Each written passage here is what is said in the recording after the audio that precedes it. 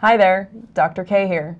In today's episode, we're going to learn how to name angles in a triangle. So let's draw a triangle first. Here we have a nice orange triangle with three angles, of course, and we're going to name the points or the angles, we're going to name them A, B, and C.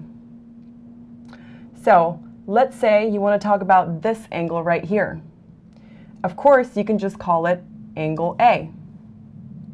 On the other hand, you can be more descriptive and describe it as the angle that's between B and C. So you would call it angle B, A, C, because we're describing this one right here in the middle. Let's say that we want to name this angle. Once again, we can call it either angle C, or sometimes people prefer a more descriptive description.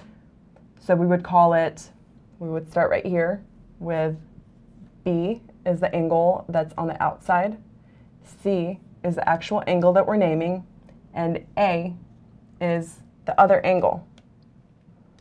See, geometry can be pretty simple, huh? Thanks for watching. I'm Dr. K.